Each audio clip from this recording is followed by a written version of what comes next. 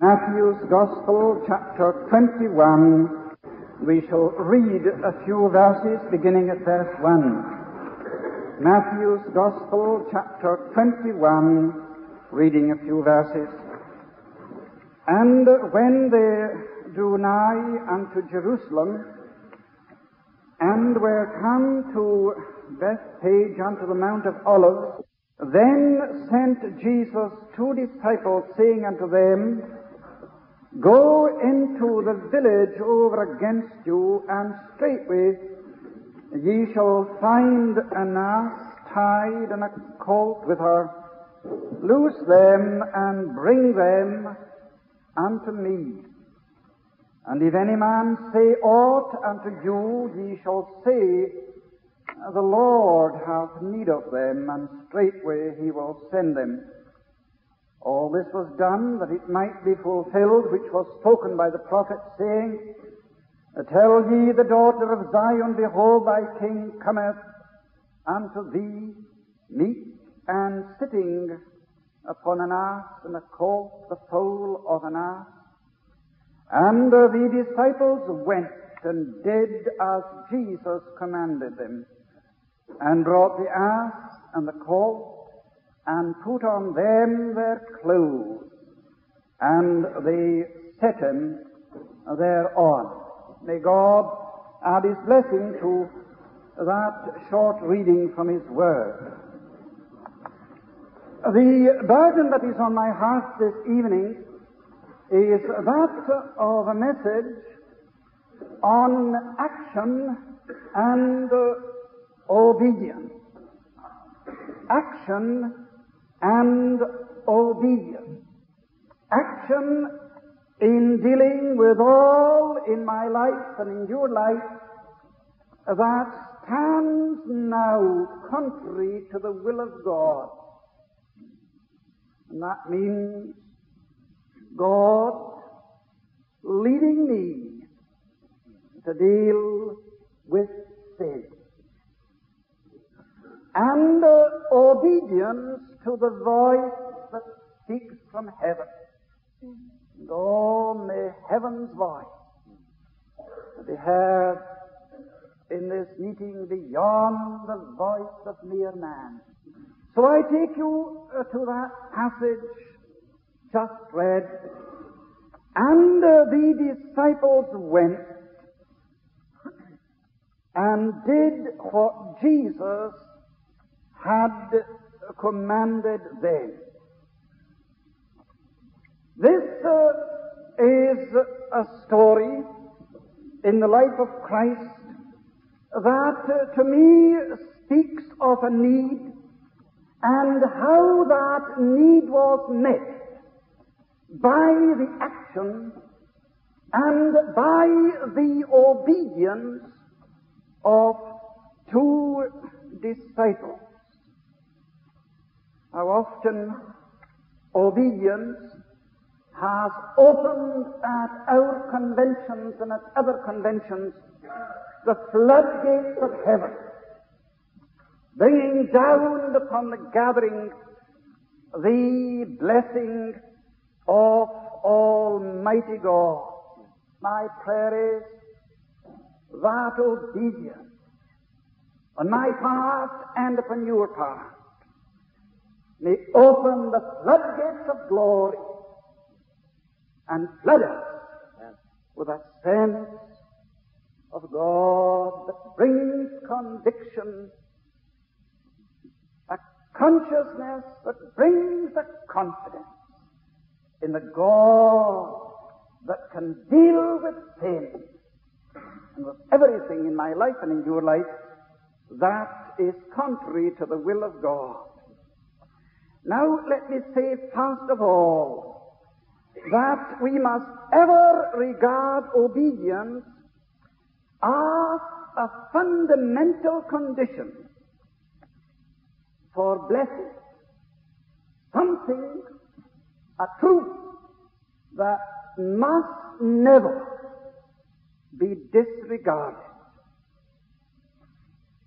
Further, let me say this that uh, there is no moral virtue in obedience unless there is a recognition of a higher authority in the one who dictates and calls me to obedience. I want you very clearly to understand that uh, obedience presupposes an unreserved yielding to the claims of Jesus Christ. I want to underline that because blessing will depend in this meeting upon the measure that I'm prepared to listen to the voice that speaks from heaven and obey that voice. You recall when the great Apostle Paul found himself prostrate in the presence of God on that Damascus road. What did he pray? What was his reaction to the revelation that came to him? How did he respond to the conviction that something had touched him that could only be explained on the basis of the supernatural? How did he react? Did he say, I wonder if I ought to make a decision? No. That was not his immediate reaction. He cried, Lord, what wilt thou have me to do? I want to ask now, are we there this evening? Have we come to this convention meeting with a consuming desire to meet with God? If not, our coming is just the laughing stock of devils. Oh, I've said that before. I suppose I shall say it again. Have we come to this meeting tonight with purpose and with intention to listen to the voice that Saul of Tarsus listened to? You recognize this? That in that supreme moment, he recognized the condition and bowed before the authority that spoke from heaven. Lord, what wilt thou have me to do? Mighty blessing will come to men and women in this meeting. A power will be let loose that will shake the very trembling gates of hell. With purpose and with intention, we get to the place that Saul got. Lord, I recognize your lordship. I recognize your supremacy. You're the Almighty One. And I bow in contrition, in repentance, in humility before your voice now speaking. You remember that it is said of Abraham that he obeyed and received an inheritance. You remember that of the disciples it is said, they obeyed God rather than man. And went out to turn the world upside down.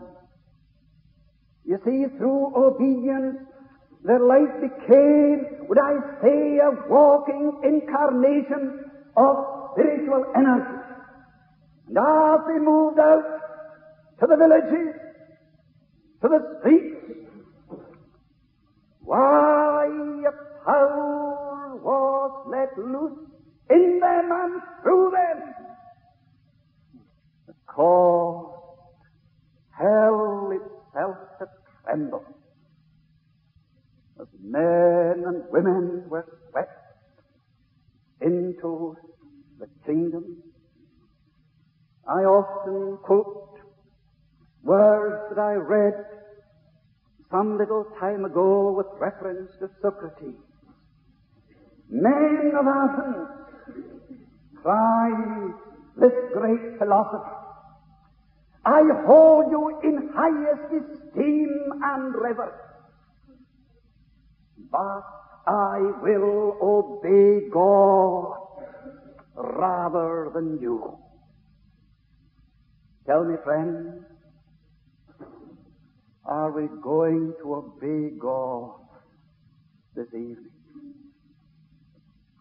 Let me say again that blessing will depend on how we react to the voice that speaks from heaven. now this is a very suggestive passage. And I want to, to direct your attention, and it must be brief, to three thoughts suggested. First of all, the passage speaks of a need.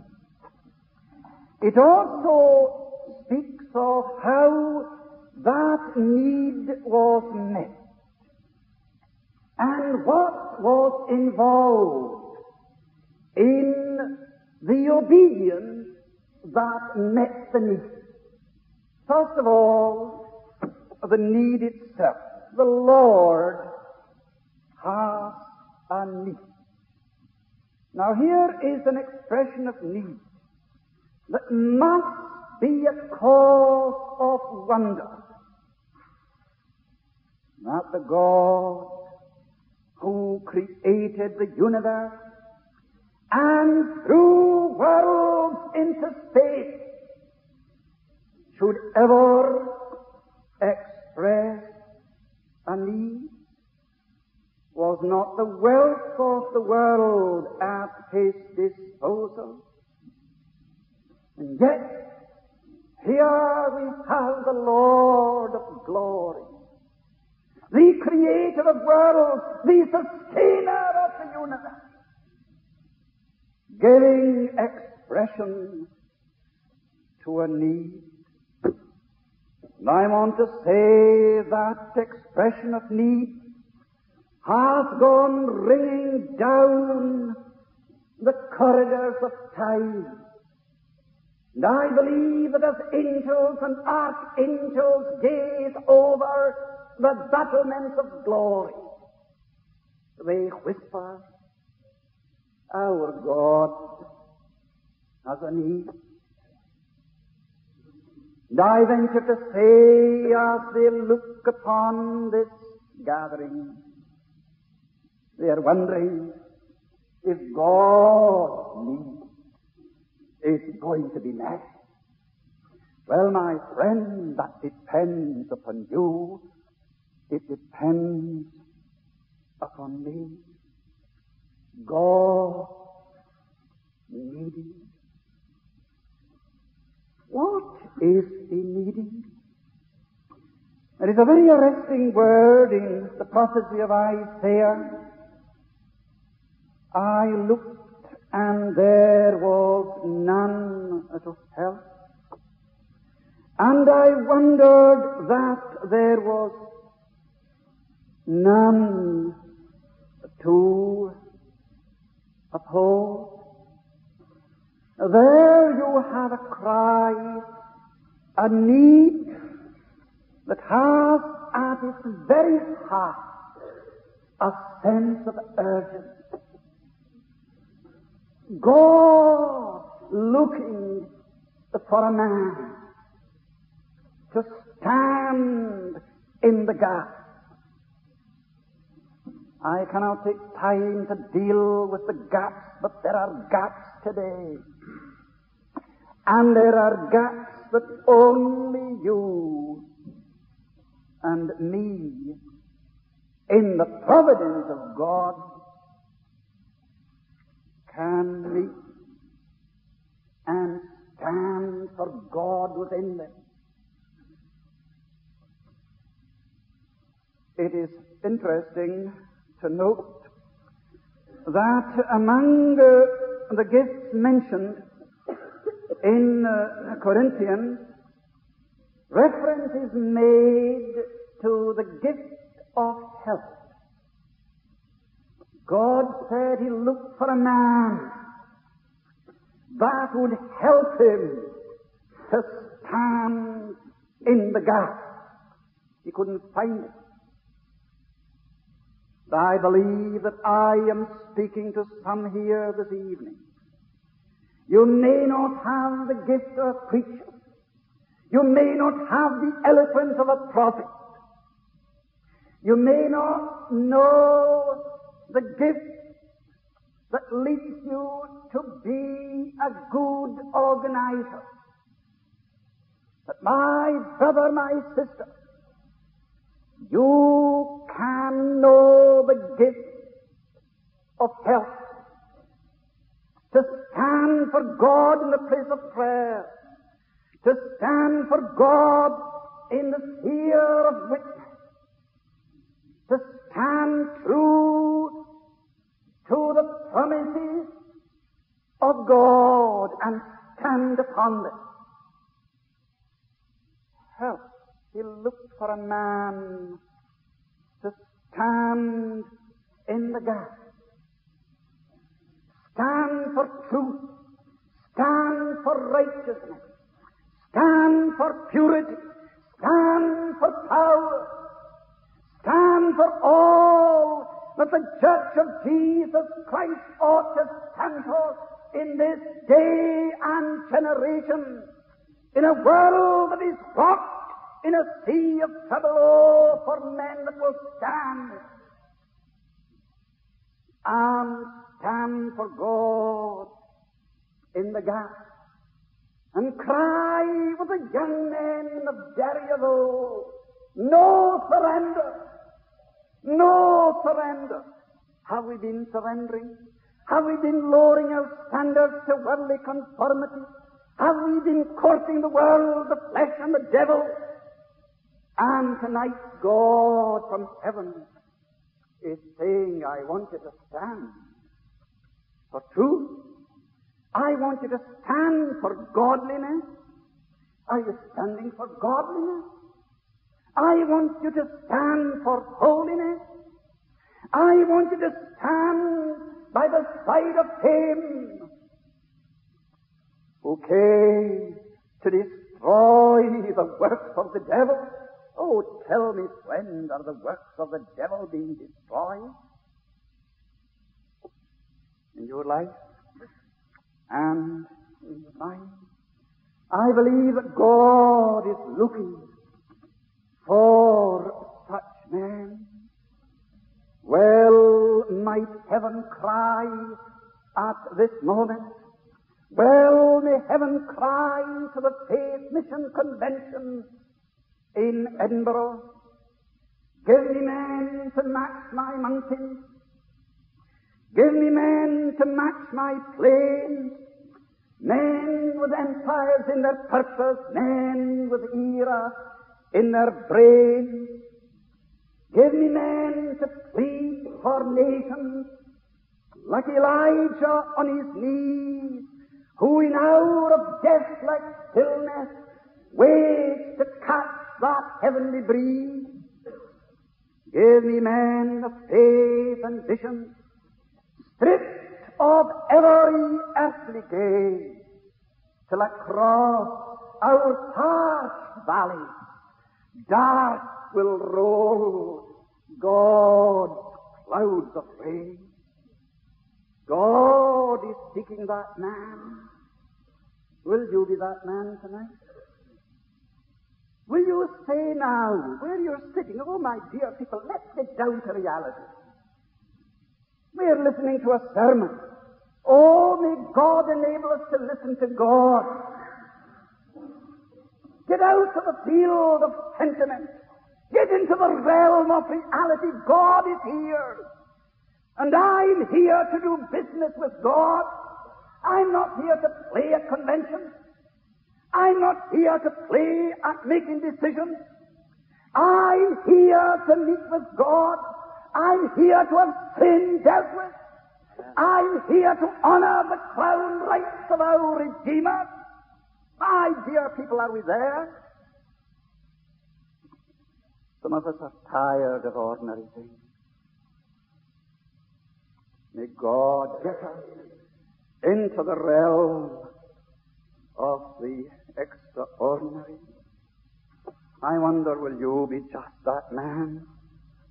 And because you have met with God, because sin has been dealt with, because the spirit of repentance has gripped your soul, and you desire above everything else to be right with God, why, you will leave this convention. As I already said, a walking incarnation of spiritual energy that will shake again the trembling gates of the caverns of death. My dear people, are we there?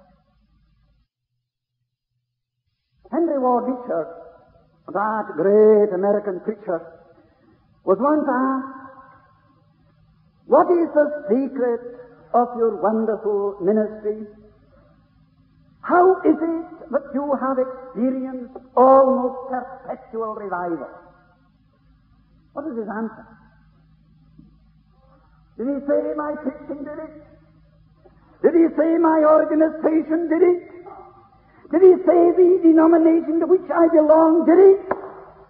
He looked his questioner in the face and said, Brother, I've excellent reflectors in the pew. I've excellent reflectors in the pew. That's greater than preaching. That's greater than human organization. Men and women going from this conviction to reflect Jesus. To reflect Jesus to reflect Jesus. Oh, my brother, my sister, tell me, is that your desire? Is that your consuming ambition? Is that your supreme aspiration? Then I say, action, action, and obedience. And then anything may happen. Might be wonderful. Might would smash our program, wouldn't it? Magic. And perhaps we'll be here till midnight. Amen. Now that takes me to my next thought. How was the need met? He expressed the need. How was it met? Well, I must be true to the Word of God and declare that, first of all, it was met by the sovereignty and the foreknowledge of God. God knew that an ass was there. Jesus said, You'll find the ass there. You'll find the ass there. And there's a colt there. And Jesus knew the day and Jesus knew the hour. Don't belittle the foreknowledge and the sovereignty of God in the affairs of man. He knew. I often think of the words of Glover. Every man's life a plan of God. My brother, my sister, in the foreknowledge of God, God has a plan for you. If I didn't believe that, I wouldn't stand in this pulpit. God has a plan for you. But listen, it all depends on your reaction when God puts His plan into your hands. There comes to my mind just now a story. I didn't intend telling it, but I feel I ought. It refers to the great Dr. Chalmers, the leader of the disruption of 1843 when he led that great church out of the wilderness into a life of usefulness for God. Dr. Chalmers is visiting in the north of Scotland. On this occasion, he spends the night in a certain hotel. After supper, the proprietor of the hotel came to him and said, Dr. Chalmers, will you conduct family worship? That was their custom. Dr. Chalmers took the book, read the portion, fell on his knees with the other, the proprietor, his wife, and the guest. Just as he touched the floor, according to his own diary, as he touched the floor, a voice spoke to him and said, Speak to the proprietor. Speak to the proprietor. He's unsaved. Oh, he had family worship. He was a good man. You can be a good man and unsaved. Natural goodness isn't Christian virtue. But another voice spoke at the ear of Chalmers' soul that said, Chalmers, the moment isn't opportune. They're very busy tonight. The number of guests in and others are coming. They're busy. And he listened to the voice of the tempter and went to his bed. At midnight he heard a stir in the house. On coming down to breakfast he was told that the proprietor had died. He tells us that he went back to his room. No breakfast for him that morning. And he knelt by the bedside and he tells us that the pillow was wet with his tears as he cried. My God, the moment was opportune, but I missed it. I missed it. I believe that that was God's moment. I believe that that was God's time. I believe that the Spirit of God was moving. But disobedience on the part of this great man kept back the word that might have meant salvation to the proprietor.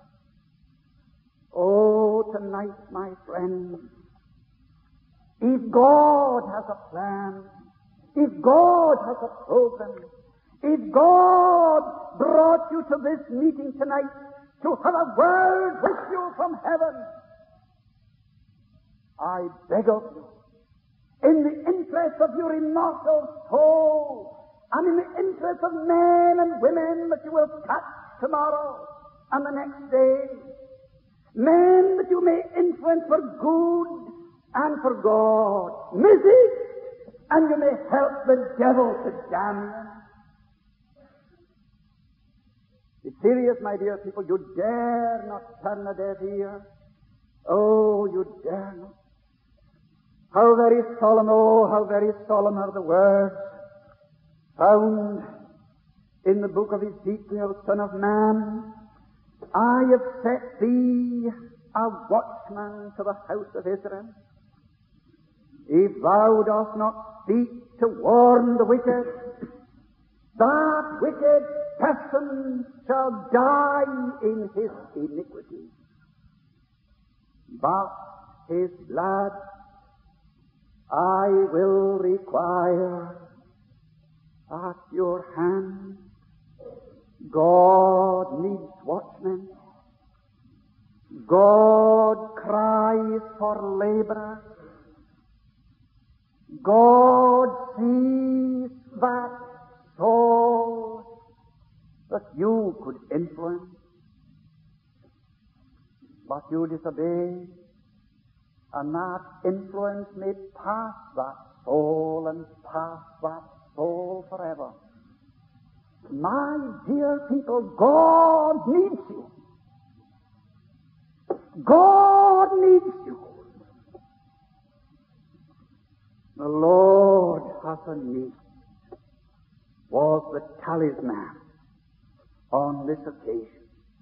I am not for a moment suggesting that uh, need must ever be the motivating principle. I'm not suggesting that. I believe that the glory of God, the crown rights of our Redeemer, must ever be the motivating power that drives me to do something at home or abroad. But on this occasion, it's obvious that there was a need. And if there was a need, and there was a need, he expressed it. He expressed it. The Lord has a need. Then I would say tonight that that claim must ever be regarded as paramount, supreme, beyond everything else. Listen, friends, he has a need in your village. Is it? He has a need in your home. He has a need in the ranks of the faith mission. In the ranks of the mission in Canada, South Africa, France. Oh, the need in the dark places of the earth. In the regions beyond. God has a need. And I want to say, because it is made heavenly upon my heart, that that need is paramount.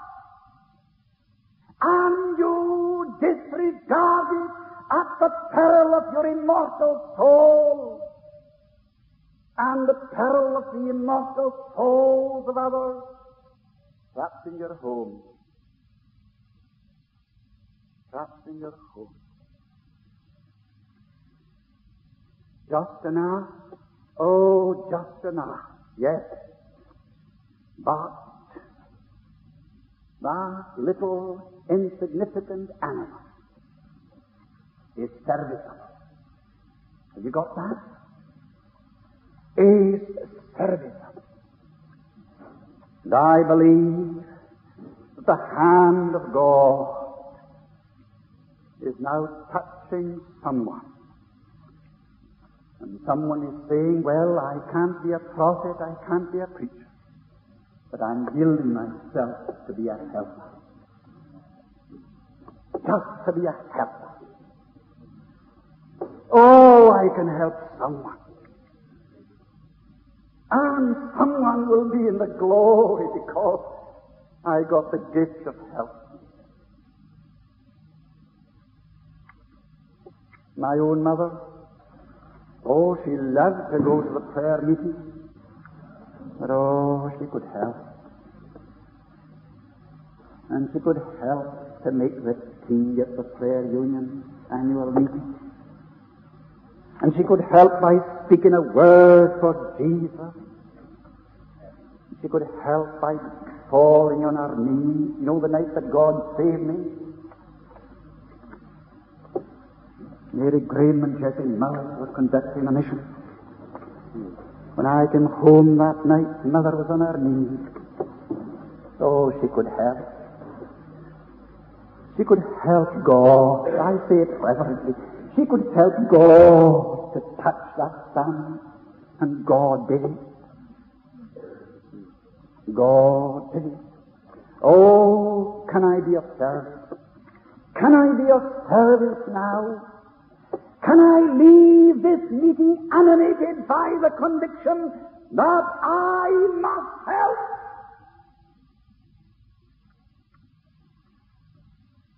Well, my friend,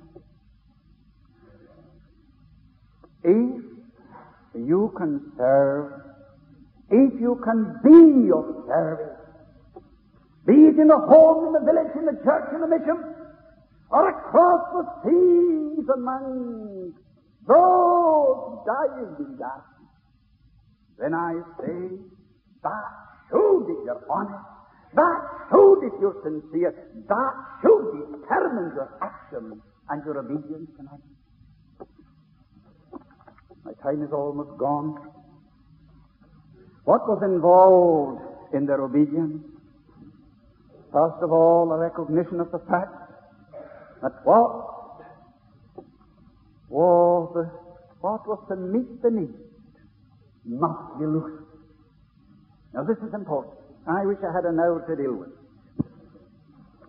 It must be loose.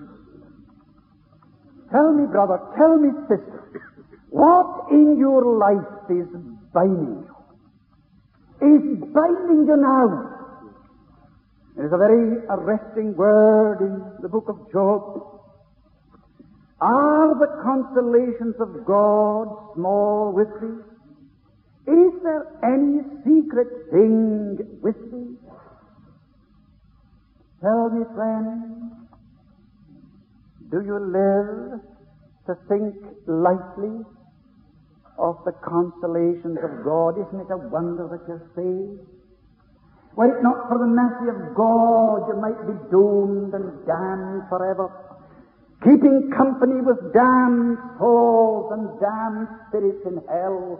But you're here at this convention of saved souls. Do you think lightly of the consolations of God? Do you think lightly of the fact that God has given you an opportunity to serve Him?